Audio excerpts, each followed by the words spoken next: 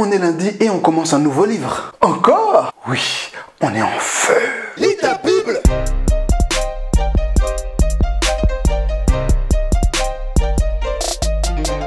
Bonjour la famille, je suis le pasteur Tito Muchebele et vous regardez Lis ta Bible. Chaque jour, je partage quelques versets bibliques et on fait une petite étude biblique ensemble. Cette semaine, nous commençons le livre de Ruth avec les chapitres 1, versets 1 et 2.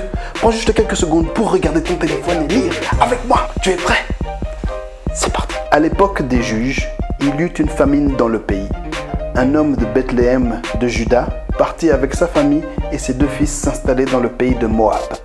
Le nom de cet homme était Elimelech, celui de sa femme Naomi, et ses deux fils s'appelaient Maclon et Kiljon.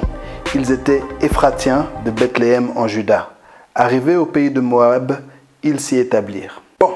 Donc cette histoire se passe à l'époque des juges. Vous vous souvenez, après la sortie d'Israël d'Égypte avec Moïse, la mer séparée en deux, tout ça, tout ça. Hein et là, après la mort de Moïse et Josué, les deux premiers leaders, Dieu a établi des juges sur le pays. C'était des leaders, 50% prophètes, 50% super soldats, 100% awesome. Samson, Gédéon, Samuel, tous ces types.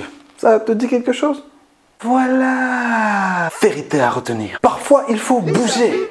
Quitter la terre promise, le pays où coule le lait et le miel. C'était pas facile. Surtout que le pays dans lequel ils sont allés, euh, Moab, c'était un pays de vrais païens. Oui, il y a les païens doux, mignons. Non, moi, vous savez, euh, je crois en l'amour. Et puis, il y a les païens comme Voldemort.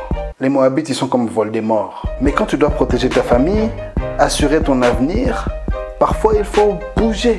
Et toi?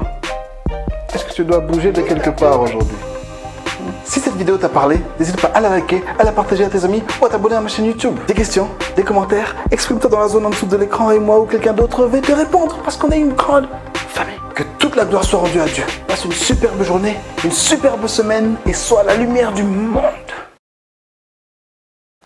Yes.